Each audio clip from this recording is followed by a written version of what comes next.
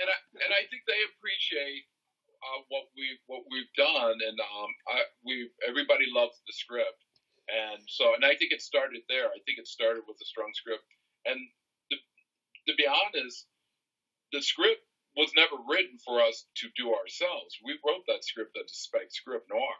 Was a spec script that we were going to shop it around um, to the studio, and uh, our one of our our producer saw the script, loved it, and thought, why don't we do it? And it took us a while before we were like, really?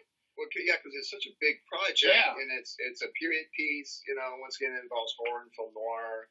And But- I, I know that when we were pitching it around to people, though, you know, and once again, we realized that well, it- Nobody really wanted to do a period piece. Yeah. Nobody wanted to do film noir. Nobody wanted to do the stuff that we were interested in doing. and the first thing they would always say is, "Can't you update it? Yeah. Can't you update it? Can't you make it in color?" Right, right. It's like all the things that well, the whole reason why you make the movie in the first place is Yeah. because of these elements. It's like they don't do movies like that anymore, and so we would kind of defeat the purpose to update it.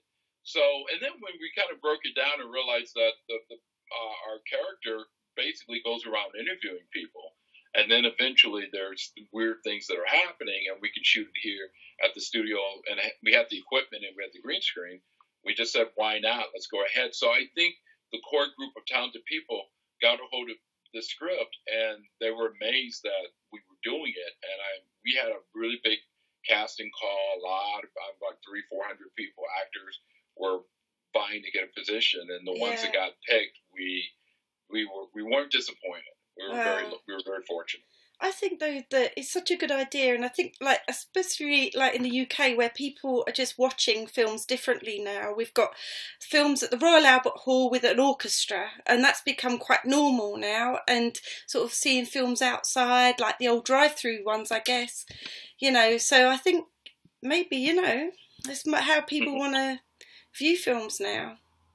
Well, you know, I think I think you know, as the ticket prices now are getting much more expensive, I you know, movies are becoming much more of an event, right? You yes. know, uh, or it should be more of an event because now everything is so readily available on Netflix and and you know Hulu and Amazon and things. And, Mm, you know, I mean, I, I know myself when I go on Netflix, I'm just inundated on, you know, so many movies. And honestly, a lot of them aren't very good, you know? And so it's just trying to, you know, navigate through all that crap out there that's Yeah. out there now. And I think that, you know, it's a good thing that we have technology the way it is now that it, it, it frees up people like us to make movies.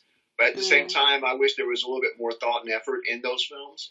and and at this and at this but at this at the same time i think what we're doing allows anybody that has an idea and, and want to do it to be able to do it you know don't let money get in the way Because of it you hasn't, not now, it hasn't with us. yeah don't let money get in the way to stop you from doing it because honestly we could have been sitting here waiting for the money and and we'd still be waiting Okay. and sometimes you just got to go, you know, screw it. I'm, I'm going to get a camera. We can shoot on an iPhone. Um, I got a story to tell. And you can upload stuff on YouTube and streaming servers all the Yeah. time. There's more content now than has ever been before.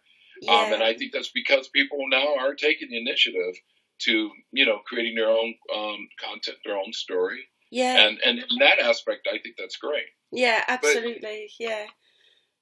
But yeah, I mean, I think I think also, and once again, I wish there was just more thought in the storytelling itself. And I think that that is the one thing that kind of gets kind of bypassed, unfortunately, with big films and small films. You know, it's like, uh, you know, it, it, it's like, well, we got the equipment, we can shoot it on a red camera or whatever, and and sometimes the technical stuff gets in the way. You know, it's like, oh, it looks beautiful. I mean, the cinematographer did a great job, and and uh, and you know, the actors are, you know, sometimes, you know, pretty good, but if when you look at the story itself or the you know the the dialogue, you're going, oh my god, you know, it's just not working. None of that's working. So um, I think uh, if anything, there's this needs to be more time spent on trying to create a really you know good, strong, powerful story Yeah. with good characters that people are going to be engaged in, and and hopefully you know you do something a little bit unique. Yeah. I can't wait to see your film. After seeing We all of for you to see it. We I can't to see wait. either. I just hope I can. You will. You will. uh, no, I mean, uh, and, and, and, and the event, you know, I mean, it, you know, it, it's, it's kind of almost silly that they even think that you can do an event film or, you know, epic kind of a piece on the kind of a budget we're talking about because it really is. I mean, we're technically using our, our, our own cash on this thing. So, uh, but, you know, we pull in a lot of favors uh, and a lot of the things we're trying to do, we're just trying to be very creative about it. Yeah. Uh, you know, well, like with the miniatures, you know, I mean, I'm a huge Ray Harryhausen fan, you know, and I love those old, you know, those old Sinbad films and, Hmm. and, and those, those movies like that. And, and I think that's kind of the part of the, the joy of it. So I Yeah. think that if we can harken back to that and kind of capture some of that magic, you know, I think, uh, you know, not only will it be a, a unique film, and hopefully it's contemporary enough that a contemporary audience will like it and enjoy it as well, but you know, people like us that remember those old movies will also kind of have a, a bit of a nostalgia going, oh, that's awesome, that's cool. I Yeah. remember when they used to do movies like that all the time. You know? Yeah. Oh, wonderful. And ha- what will you go on to then? Do you think after this?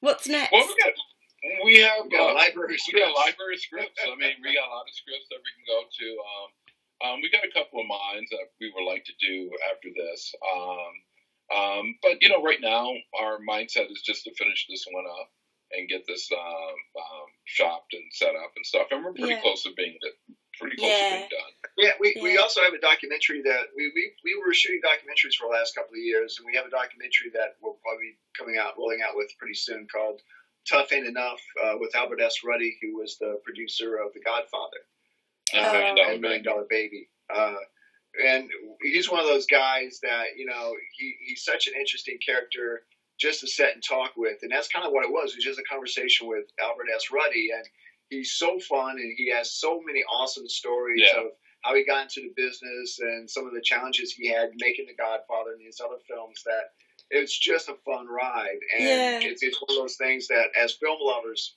you know, we thought it was just like the greatest, you know, That's amazing, isn't it? ever. Yeah. Yeah, as a matter of fact, Isn't uh, that uh, that'll probably come out um, very soon. So we're we're we're get, we're in the midst of getting that um, distributed. So you'll probably Yeah. see that. I've got to see that as well. I, that's right up Oh, my yeah. street. I've got to see that. In fact, we, we, we, we might be able to uh, send you a link so you can see that. Uh, I'd love that- to. that- yeah. Yeah, I'd love to. Oh my gosh. Well, I don't know what time it is. Yeah, we've been about half an hour. So thank you for your time. I didn't want to take up too much of your time. So No, we feel. I mean, you you've been up all day. See, you're about ready to end your day We're and get some out. sleep. We're just starting out over here. So yeah, I've had it's about. a weird kind of opposite end of the spectrum. You know? I know. I've By had way, about two we- pints one of one tea. Of our most recent scripts that we wrote is called "Don't Blame London" because Oh. we love London so much and we love the UK. So You so do. That, that could be our next film, maybe. Who knows? Yeah. Like a like a James Bond kind of thing, you know. Oh yes, that's uh, big in the news at the moment, isn't it?